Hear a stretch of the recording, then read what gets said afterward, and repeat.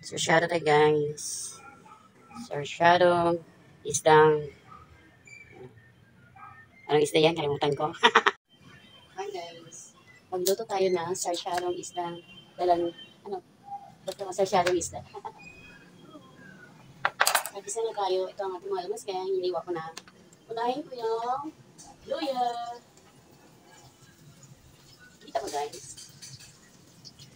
Lapit, natin guys para makita. Yan.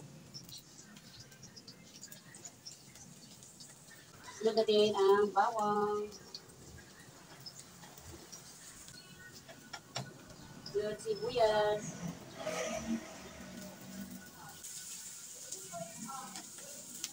Next, kamatis.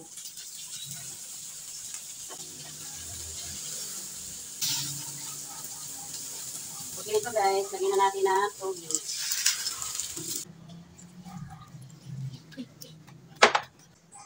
Paminta. Patis lang natin ilagay guys. Kuloyin lang na.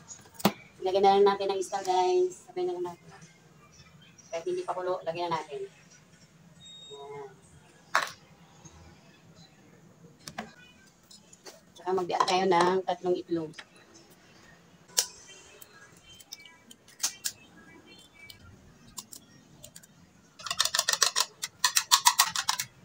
Bigyan natin ng seasoning, ng pasarap.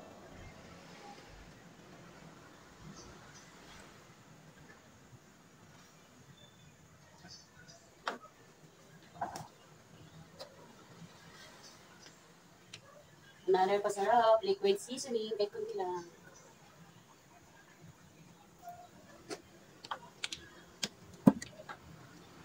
Ganito guys, ilagay natin ang itlog. I-shake ko na yung itlog guys.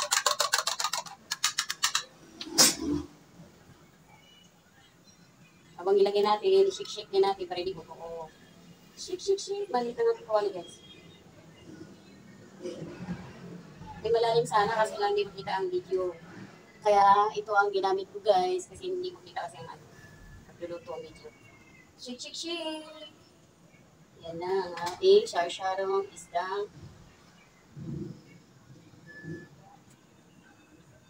dalagang bukit. Ano ba itong na? Kalimutan ko. Nana natin guys. Okay na yan. Tikman na lang natin.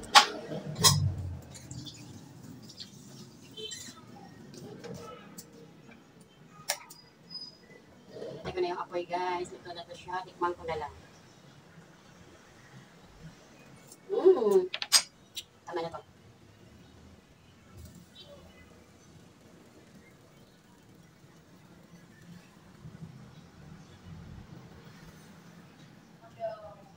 So, kain na tayo guys. Mayroong hotdog dito, tsaka hipon, cheese, butter. Ah,